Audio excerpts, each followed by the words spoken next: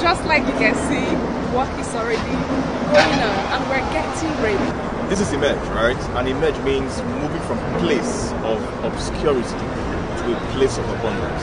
Guys, it's happening live in Abuja Velodrome National Stadium. What is emerge? Emerge in one word means growth. And I always say, if a man is not growing, then he's dying. Emerge basically means to come to light. A lot of people have been in the dark looking at the economy, talking about how this current government is spending a whole, lot, a whole lot of things up. They added to their neck in 2022. And now we're in 2023, it is time for you to emerge and actually come to light. There is light at the end of that tunnel. People will understand leadership skills and principles. They're going to understand how to communicate effectively to boost their businesses, how to create cash flow for the businesses. It is going to be an impactful event.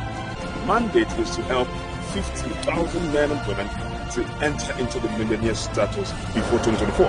17th and 18th of January 2023.